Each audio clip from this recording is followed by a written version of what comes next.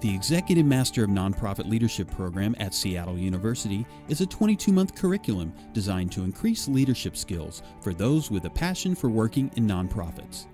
Classes are offered in the evenings and on Saturdays.